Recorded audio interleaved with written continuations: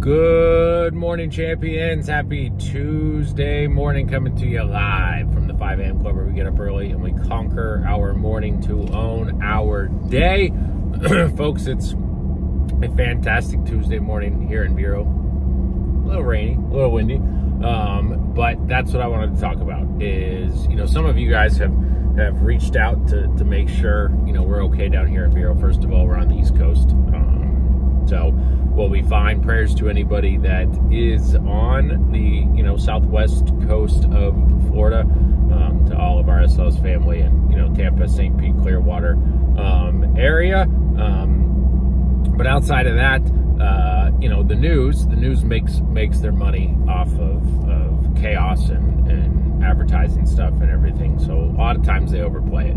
But the point that I wanted to make, regardless of, of your thoughts on that, is as we are on the phones and stuff today. Think about from a mindset, and, and here's a comparison. And if you're not in Florida, this may not make sense. But if I were to call my homeowners insurance, well, I, don't, I have homeowners. If I were to call an insurance agent right now and say, hey, storm's coming, I think I should get some homeowners insurance. Guess what? There's a there's a freeze on on you know you cannot issue homeowners policies at the moment because we are under um, tropical storm and hurricane watches. Uh, and so, a couple things as a reminder today. One, it's about being organized ahead of time, right? Um, I'm under very low stress right now because I'm organized and I'm prepared, and I do things to stay um, ahead of what I need to long before.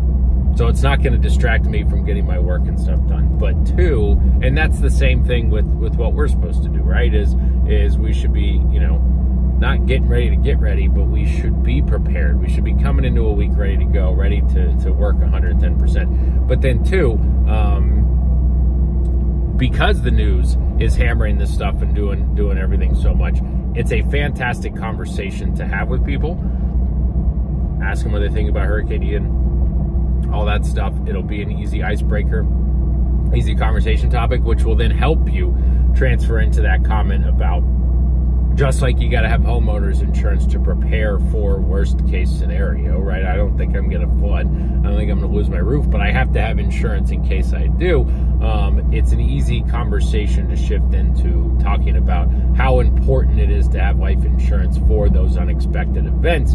And when you get diagnosed with cancer or have a heart attack or do anything like that, you can't then call and get life insurance. And that is if you're fortunate enough to survive those life threatening events. But many people pass away without it, and the GoFundMe's and all that stuff. There will be GoFundMe's after this hurricane. Um, and so I just wanted to make that comparison. I wanted everybody to understand that I can't go get homeowners insurance right now, just like a lot of people can't go get life insurance because of their, you know, health and stuff like that, or they're going to have a waiting period or anything. So it's a great conversation starter. It's a great comparison. And it's a reminder to you all that just like you need to be prepared long before a storm ever comes, um, you've got to be prepared on a daily basis for whatever life throws at you so that every single week you can put in 110%. You can get your, your activity and you can get your talk time in, you can get your AP there so that you can take care of yourself financially, mind, body, spirit, bank account, right? So, little long one today, but I really wanted everybody to know that we'll be fine here. Home office is going to be rocking and rolling all week long. Um, so, don't hesitate to reach out um, and absolutely aspire to be better today than you were yesterday. Do it every single day.